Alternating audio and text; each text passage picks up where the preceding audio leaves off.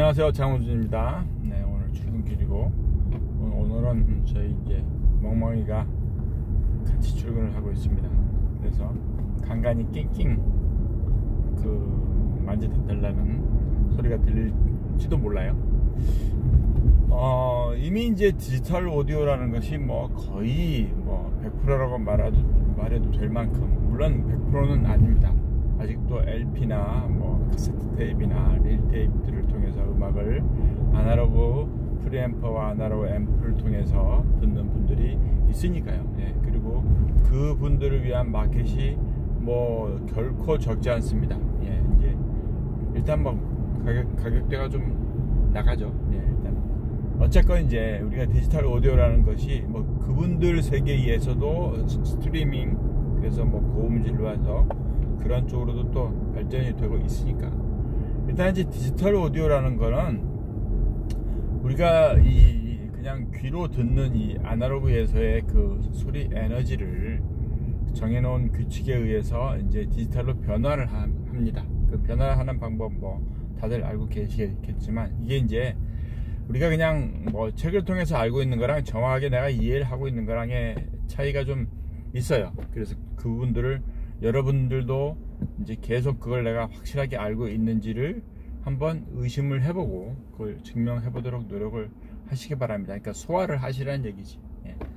음, 저도 뭐, 뭐 이미 다 알고 있는 내용이라고 생각한 내용인데도 뒤늦게 어 이거 내가 정확하게 알고 있나 뭐 그런 케이스가 많아요. 그러니까 요 며칠 이제 그 R 그 RMS나 피크 이런 얘기들도 그런 얘기입니다. 그러니까 오늘 말씀드리는 얘기도 그 RMS에 대한 이야기예요.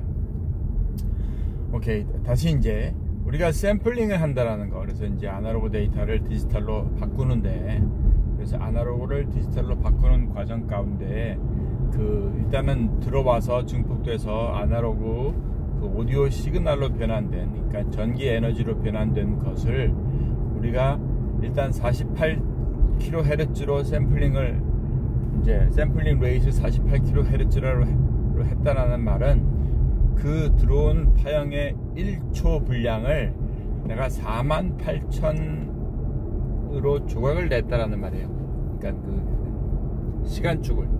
그러니까 즉 이제 하나의 샘플은 4만 8천분의 1의 시간을 가지는 그 부분을 이제 골라내서 그 부분을 이제 우리가 그 샘플링 비트라고 말하는 16비트라고 말하면은 그래서 그 부분의 크기를 16단계로 쪼갠다라는 거예요.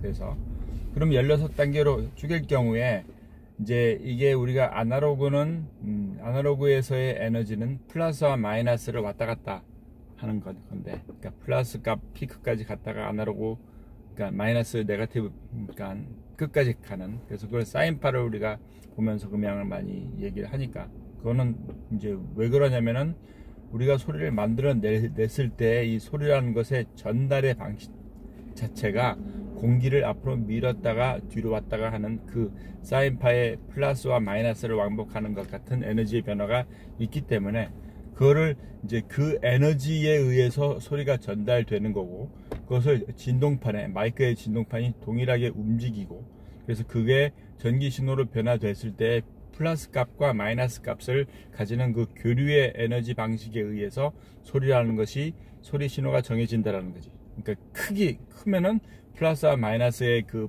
진폭의 폭이 큰 거고 예, 고음이면은 그게 빠른 거고 그렇게 해서 이제 소리가 전기 신호로 변환을 해요. 그래서 그게 이제 샘플링을 하는데 우리가 디지털로 넘어올 경우에는 마이너스 값이라는 게 존재하지 않습니다. 예, 디지털은 오로지 플러스만을 해요.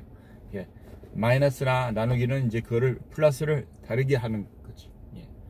그러니까 하여간에 어 그래서 16비트라고 정해 놓으면은 16비트의 오디오는 중간 부분 16을 반으로 나눈 부분을 중간 부분을 음, 그 우리가 이제 교류에서 말하는 0의 기준점으로 놓고 그래서 16비트의 끝까지 가는 거 그러니까 그 반주기 위에 부분 우리가 아날로그에서 말하는 사인파에서 위에 부분에 말하는 거를 그 16비트의 반을 나눈 거에 윗부분에서 처리를 하는 걸로 아랫부분은 그 16비트를 반 나눈 거에 아랫부분에 있게끔 그래서 이게 16개의 비트 안에 그 실제로 48,000분의 1로 조각난 그 오디오 데이터가 그 안에서 포함되게 되는 거예요. 예, 그래서 24비트다. 그러면 12, 예, 위에 12가 플러스 쪽의 데이터, 밑에 12가 마이너스 쪽의 데이터를 말하는 거죠. 그러니까 그게 우리가 교류에 있는 에너지에서 피크까지 가는 그러니까 우리가 사인파에서 맨 위까지 올라가는 꽉 찬다라면은 16비트라면 그게 다 꽉 차 있는 거고 다 11111 해서 16비트가 full로 꽉 차 있는 예. 그래서 그 값이 이제 16비트 데이터가 소화할 수 있는 가장 끝인 거지 그러니까 우리가 디지털에서 아 피크를 넘기면 안 됩니다라고 말하는 거는 그것을 넘어갈 경우에는 그게 뭐 엄청나게 좋은 데이터 등 그러니까 17비트에서는 충분히 소화 가능하고 24비트에서는 소화가 가능한 부분이라도 그걸 16비트 처리해서는 그걸 담을 그릇이 없다라는 얘기예요. 예. 그걸, 그걸 줄여서 뭐 하는 것이 아닌 거고 그 줄인다는 것, 것도 잘라내는 것 거니까 예, 불필요한 뭐 그런 것들. 어쨌건 이제 그, 그렇게 해서 이제 데이터를 변환을 합니다. 그러니까 이제 48kHz라는 것은 그것을 1초를 48,000분의 1로 쪼갠다는 얘기. 그 다음에 우리가 오디오의 그 소리의 이 양에 대한 거를 16비트, 24비트에서 이렇게 처리한다는 얘기. 그러니까 실제로 우리가 이제 그거를 그 크기를 표시하는 데 있어서 어, 뭐 디지털에서는 원칙적으로는 그냥 피크만 있으면 가능해요. 예. 피크치만 있어도 우리가 그 마이너스로 내려갈 부분이 없으니까 마치 직류 값에서 직류 전기 플러스 4V 플러스 5V 하는 것 같이 근데 우리가 기본적으로 소리의 성질 자, 체가 교류의 성격을 가진다라고 얘기했으니까 그래서 그 마이너스 값이 존재를 해야 되 는 거거든요 그러니까 그런 그 이 아날로그적인 교류적인 그 신호의 처리에 있어서 그 실제 크기를 표현하는 방법에서 그거를 피크 값 가장 큰 소리 부분만 가지고 말하긴 어렵다라는 거지. 우리가 전기를 얘기할 경우에 우리 지금 한국에서는 220V를 씁니다. 뭐 미국에서는 110V를 쓰고 그 220V라고 말하는 그 전기 값이 아 그르라는 것은 0V에서 플러스 피크까지 갔다가 다시 0V로 갔다가 다시 마이너스 피크까지 갔다가 다시 0, 0V로 가는 우리 그 사인파를 생각해 보면 그것을 이렇게 그렇게 표현되는 에너지인데 그 그것에 지금 현재 값을 말하라고 하면은 그게 어 그 시간에 따라서 값이 변할 거 아니에요. 그러니까 그래서 그거를 표현하는 방법들을 직류는 그냥 뭐 플러스 300V 그러면 그러니까 직류에서의 300V는 처음부터 끝까지 300V일 뿐인데 교류에서의 300V는 그게 실제 피크에서의 300V를 말할 수 있겠지만 그게 그 피크를 넘어가는 이제 그 내려올 테니까 그래서 0V까지 내려오고. 그러니까 단순하게 그냥 피크 값으로 이 전기의 값을 말하기는 어렵다라는 얘기가 나오게 되는 거고 그래서 그거를 이제 그 평균 값으로 얘기를 하기 시작을 했는데 교류에서는 또 평균이라는 거가 그냥 그 평균을 내버리면 그러니까 그 한 주기를 평균을 내보, 내보면은 그 중간에 0으로 오는 부분이 있기 때문에 평균이 0이 되어버려요. 예, 사인파의 한 주기의 평균을 내보면은 중간에 0이 있으니까 그, 그 다음에 플러스 부분과 마이너스 부분의 그 포지티브와 네가티브 부분의 반응에서의 에너지가 똑같으니까 그, 그거를 평균 내버리면 0인데 그러니까 실, 실제 교류의 표현에서 그 평균 값을 말하는 거는 그래서 한 주기를 사용 안 하고 반 주기를 사용한다 그래요. 반을.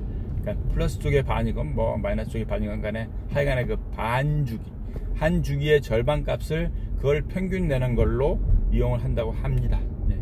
그래서 그게 0.637을 곱한다. 뭐 그렇게 해요. 그러니까 이제 실제 그 피크 최대 값에 0.637을 곱한 값이 평균 값이 나온다라는 얘기지.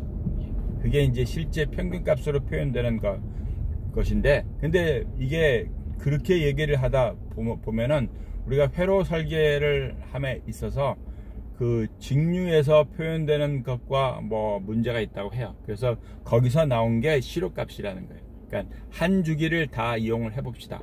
반 주기를 쓰지 말고 한 주기에서의 실제 전압의 크기가 어떤지를 그 평균적으로 내는 그래서 그게 RMS라는 거지. 예, 그래서 루트민 스퀘어에서 평균 그러니까 평균 제곱근 예, 평균값을 잡아서 제곱근을 한 값.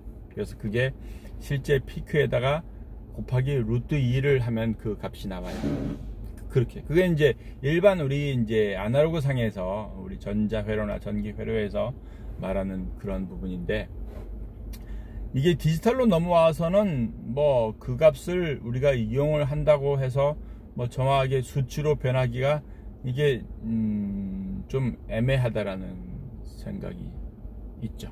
그래서 그게 사실상 저도 제일 많이 이제 머리에서 이게 아 뭐 딜레마 같이 있던 것, 것이 그 평균값에 우리가 평균값이라고 말하는 것 그 자체가 이제 피크들의 평균이라는 얘기인지 아니면 지금 말한 것 같이 진짜 피크가 있을 때의 RMS 예, 그러니까 피크 곱하기 루트 2를 한 값을 의미하는 것이 수학적인 설명인데 그 설명으로 우리가 오디오에 대한 부분들을 특히 디지털 오디오에서의 그 검출에 대한 부분들을 말한다라는 거가 좀 이게 모순이 있다라는 얘기예요. 왜냐하면은 그 디지털 오디오에서는 우리가 교류에서 아날로그에서 말하는 것 같이 그 한 주기의 평균을 0으로 만들지 않으니까 우리가 그냥 한 주기라는 것이 다 플러스 값 가운데 있는 샘플링 비트에서 다 소화를 해버리니까 거기에서 평균 내는 값하고 우리가 그 플러스 마이너스가 있는 사인 파츠 파같이 positive와 negative와 value가 있는 것에서의 평균값 낸, 낸 것과는 다르니까 그래서 아마 그런 부분이 이건 그냥 제 뇌피셜입니다. 그래서 그런 부분에 있어서 실제 RMS를 그렇게 수학적으로 물론 이제 계산식이나 알고리즘에서는 그렇게 정할 텐데 거기에서 모순이 있다라고 이해를 했을 수도 있을 것 같아요. 그리고 실제적으로 우리가 RMS는 교류 회로나 뭐 이런 거에서 다 시간이 그게 시간 축이 아주 중요한 역할을 해요. 예, 그러니까 한 주기, 반 주기 말한 것 같이 그래서 그 부분이 있으니까 그래서 이제 디지털에서는 그렇게 쓰는 것보다 300ms라는 우리가 평균적으로 보편적으로 쓰는 그 최근 300ms 동안의 피크들을 나눈 평균한 거그 값을 RMS로 쓴다라는 얘기예요. 예, 그러니까 그게 300ms 동안의 각각의 피크를의 RMS 값을 그거를 다시 RMS로 뭐 한다라고 이해할 수도 있겠지만 일단 교과서적인 설명은 300ms 어, 동안의 각각의 피크들을 그러니까 최근에 300ms 동안 0.3초 동안에 이 반복되는 그런 파형들의 평균 값을 그 평균 피크치를 RMS로 한다. 이렇게 일단 정리하시면 될 것 같아요. 그러니까 우리가 그냥 회로상에서 생각하는 RMS 그 부분과 우리가 실제 디지털 오디오에서는 어떻게 생각해 되는지 그런 부분에 대해서 좀 오늘 한번 어, 이야기를 해봤습니다. 네, 출근길 리포트예요. 그래서 어, 디지털 오디오가 지니는 부분에서 뭐, 뭐 설명될 부분들이 있으니까 네 그렇게 이해하시면 좋겠습니다. 감사합니다. 바이 세리도 바이 발이 안 나오네. 예.